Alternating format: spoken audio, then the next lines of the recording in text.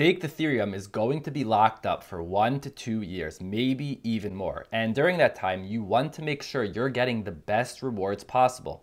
So in this video, we're going to discuss how Ethereum staking rewards are determined, and more importantly, how you can get the best Ethereum staking fees in order to maximize your profits. Welcome aboard the Bitcoin Express. My name is Chase. Let's get to it. Ethereum staking is live, and figuring out how much we can actually earn is a bit confusing. Right now, I'm on the Binance website, and it says estimated APY is 5% to 20% a year.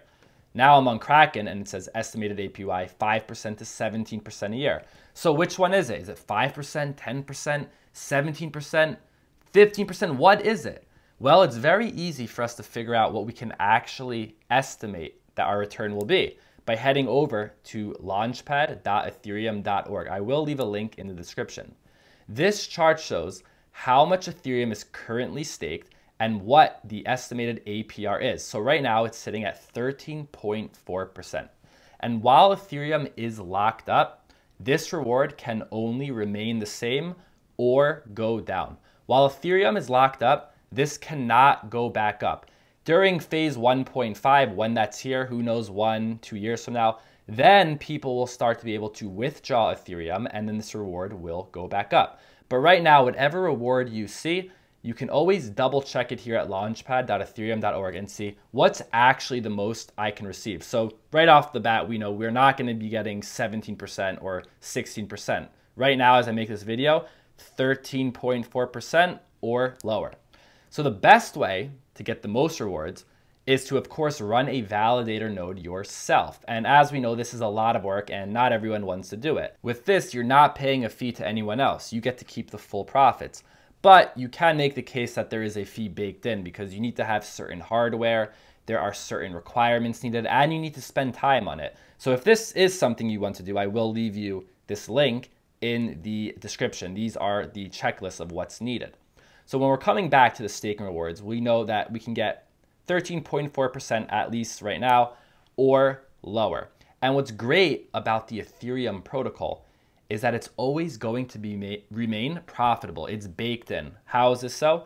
Because over time, we're going to see that this is going to get lower and lower and lower. And eventually, this Ethereum will be able to be withdrawn. And people might say, you know what? I don't want 5%. I don't want 6%. I'm going to take my Ethereum. I'm to bring it over to BlockFi and I'm to order, I'm to get 7%. Or maybe I'll take it to Celsius and I'll get 8%. Who knows? As more people take off their Ethereum and bring it to other places to get better rewards, then this APR on chain will continue to go back up. And then people will take their money from, let's say, BlockFi or Celsius and put it back on the Ethereum chain. So it's always going to remain profitable. So now that you know how the Ethereum staking rewards are determined, let's talk about how you can get the best fees by using a provider. Of course, going to each and every exchange or each and every protocol is very tedious and a lot of work. Luckily, there is a website that puts all the work together for us, and that's stakingrewards.com. This website has all the cryptocurrencies that you can stake and everything you need to know about them. So right here we see Ethereum.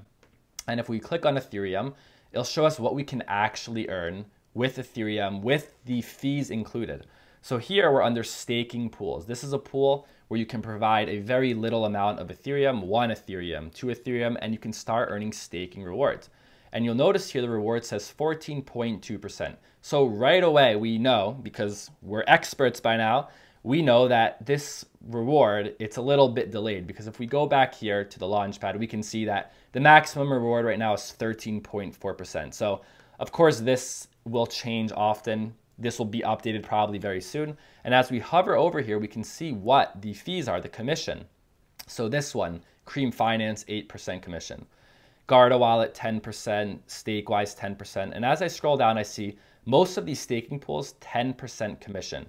One that's not on here yet, I'm not sure why, is the Staker Protocol by Ankr. This is the one I'm planning on using in the future, but I'm not using it yet, and I'll tell you why.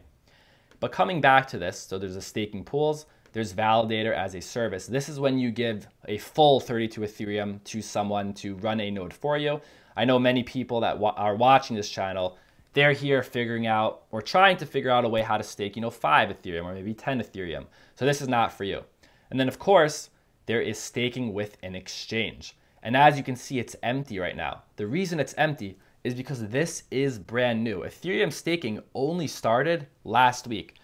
Probably by the time you're watching this in the future, all the information will be here and all of these exchanges will be officially staking Ethereum. But as I'm making this, there still is not enough information yet.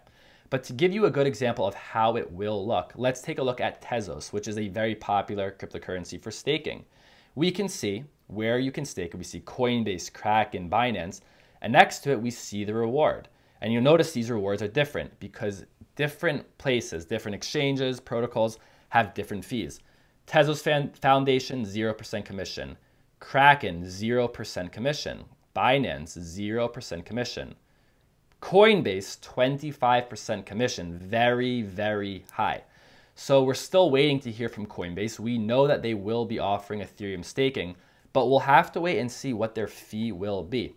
Because with these protocols, you might end up putting in your Ethereum and it might be locked up for a long time and you want to make sure you're getting the best fee. So I'm still waiting for more information to come out. Like I said, as I'm making this video, this information is not available yet. So there's Kraken, Binance, Coinbase, very popular. There's also a cool calculator on stakingrewards.com where you can get an estimate of how much you can actually earn. So let's say we're using a staking pool and I say I'm gonna put in five. So it shows what I'll get throughout the year and it has actual numbers. So, you know, it's not just you trying to guess. It gives you everything you need. But it's basing this off of how many Ethereum are currently staked. And as we learned before, the more people are staking Ethereum, the lower the rewards will be. So over here, of course, if we scale this up, we can see that our rewards will decrease over time.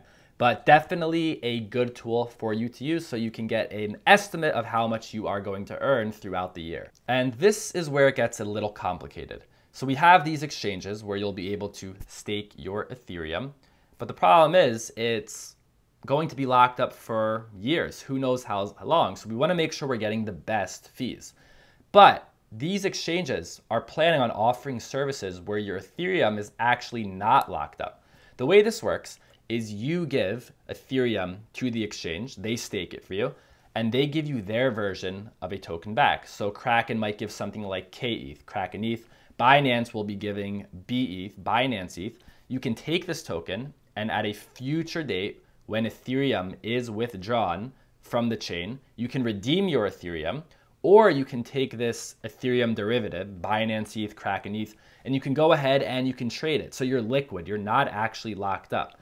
But the bad part is that when it comes to, for example, Kraken, this service will not be available for users located or residents of the United States and Canada.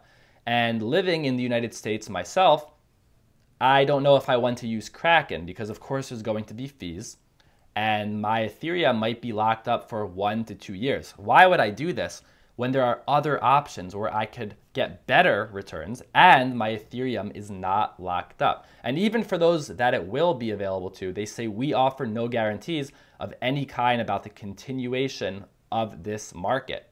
So Binance will be offering this as well, Binance.com. You give them Ethereum, they stake it, and they give you back in return BETH. Now you can go ahead and do whatever you want with this BETH. The problem is Binance.com is not the same as Binance US. These are two separate exchanges. I myself living in the United States and many of you listening, we can't use Binance.com either. So even though they have this feature where they're going to give you BETH, we can't participate in it. So what I'm waiting for is for decentralized protocols to be in full form. For example, Rocket Pool is a very popular one that will be participating in Ethereum staking, so decentralized Ethereum staking, where your Ethereum is liquid. The problem is they're not available yet, they're coming soon. The one I have my eye on is the Staker protocol by Ankr. With Staker, you actually can start staking today. The problem is their token they're giving you back, the AETH token, it is not available just yet. So I'm waiting for this token to be available and to be on exchanges. Because until it is available, this is no better than staking it into a protocol or with an exchange that it's locked up for an unknown period of time. You see, these exchanges or these protocols, they're not promising that they're going to give you back this Ethereum derivative. They're saying that we hope to, we'd like to, but they can't guarantee it. So I'm waiting for Staker to offer the AETH token, and then I'll probably consider using the Staker protocol to stake my Ethereum. But with all things high risk, high reward, if you get in early, which is high risk, there's a high reward. If you get in now, you'll get higher APR. But as time moves on and things mature and we know everything there is that we need to know, and all of these Ethereum derivative tokens are available, then the APR reward will go down. So like all things in investing, high risk, high reward when you get in early, low risk, low return when you get in late. If you're confused about this no lockup Ethereum staking, I made a video. Go ahead and check it out right now, link right above the screen. Thank you for listening, and I'll see you next time.